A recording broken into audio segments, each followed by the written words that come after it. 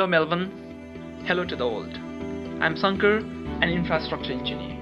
Over the next couple of minutes or so, I'm going to take you to a short but thoughtful journey towards new destinations for infrastructure engineers.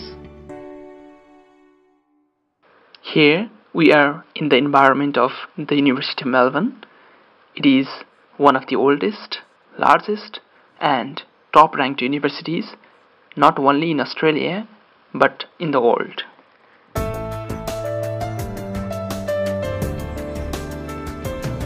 Research intensive university, Melbourne has a number of schools, academic departments, and research centers.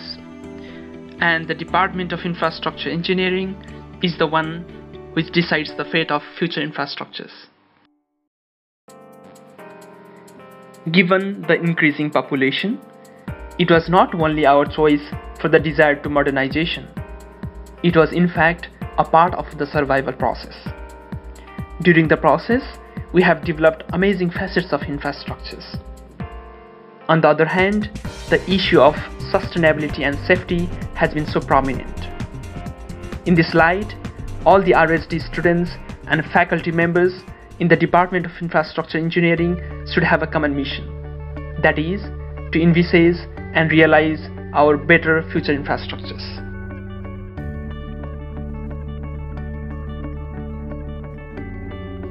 Today, we have had to worry not only about our present infrastructure and environment, but more about the present of our future generation. We are going to make them aware the severe impacts of the development we are so fascinated about and are still lure for more our next generation will be facing massive challenges. These are all serious issues. Are the civil structures in our societies well planned and constructed? Is it possible for our generation to solve these various issues? Can we really do it?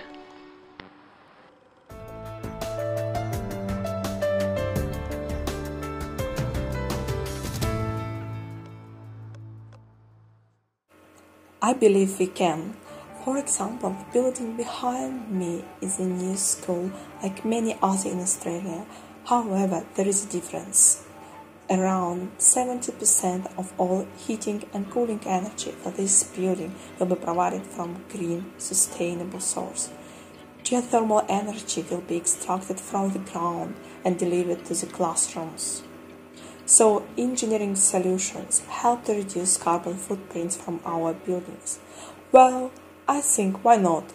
With the right engineering and research effort, we are capable to overcome future challenges.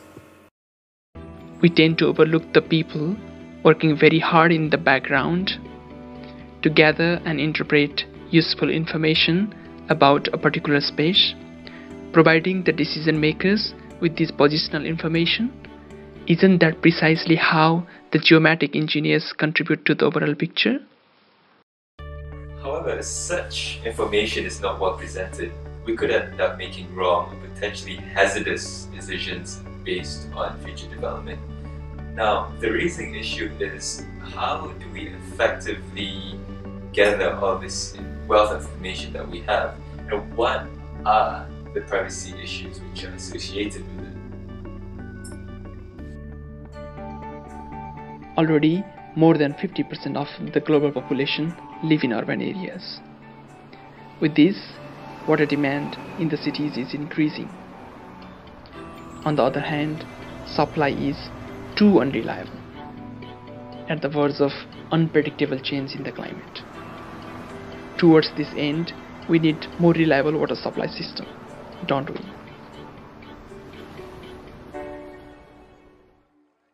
Centralized water supply system in major cities can cater for increasing water demand because of climate change, population growth. To address those issues, alternative water supply options are coming in recent years. However, implementing those options are not easy forward as there are a lot of questions regarding what will be the energy usage, what will be the cost, what is its implications. So we need more research in those areas. It seems that all of these infrastructures are realized through time limited, cost bounded efforts, which we know as projects. Any challenge in a project delivery is a challenge for our future infrastructures. Are we doing the projects well? Are there successful projects everywhere in the world? Or do we see deficiencies? What are the challenges? Certainly, there are areas we can improve in current practices. The process of bringing different parties together to collaboratively make decision is a challenge.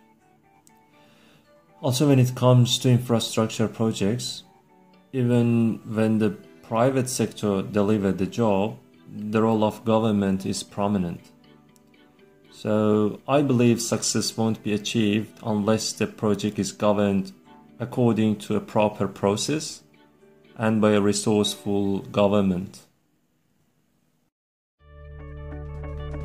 A number of more questions and challenges should have already come across in people's minds in today's world, and it should be more so with the infrastructure and environment researchers and managers, shouldn't it?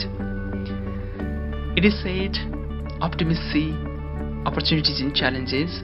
Do you also see some? Are the current technologies and methodologies enough? Can we really do something today to mitigate and manage the increasing impacts?